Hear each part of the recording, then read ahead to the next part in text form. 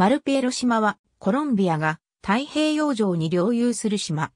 その周辺海域は何種類ものサメが多く生息する巨大な金領区でマルペロ動植物保護区としてユネスコの世界遺産にも登録されている。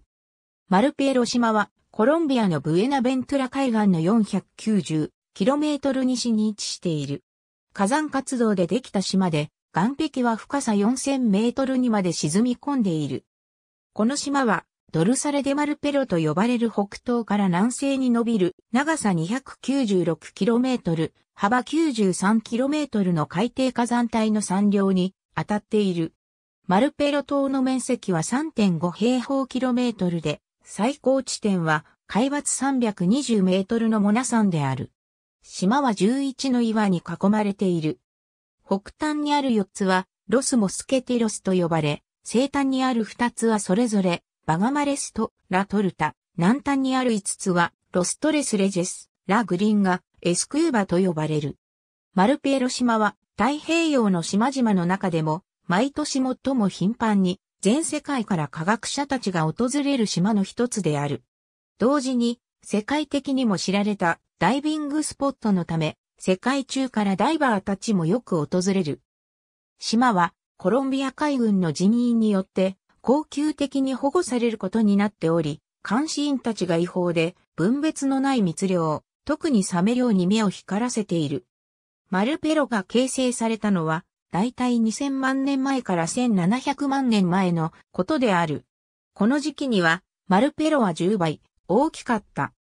地形学者たちは、現在の面積になった原因を、海洋の侵食作用や降水、強風などにさらされてきたことに求めている。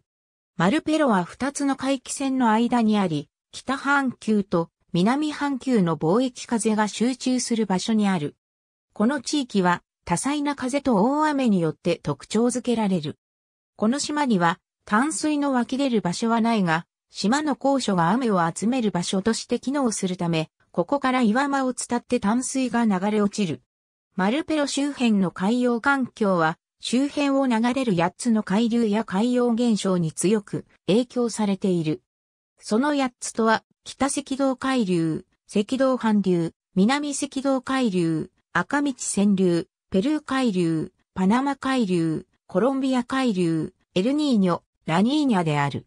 これらの海流は大体が暖流で水温は26度から27度、塩分が濃く、表面は 33ppm、深部は 34ppm である。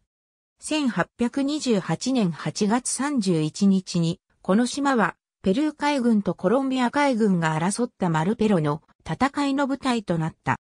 1995年には、コロンビア政府は、マルペロを、マルペロ動植物保護区の名で、自然保護区とすることを決めた。